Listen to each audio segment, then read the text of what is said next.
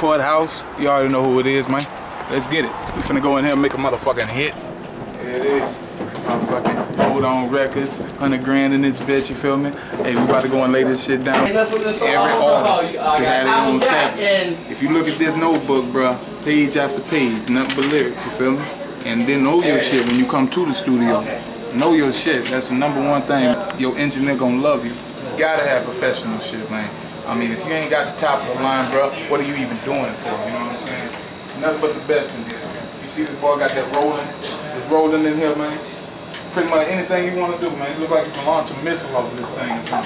Hey, I want to send a shout out to Hold On Records, Def Jam Distribution. You know what I'm saying? Uh, much love to all my people. Hustle the E clothing line, man. You know what I'm saying?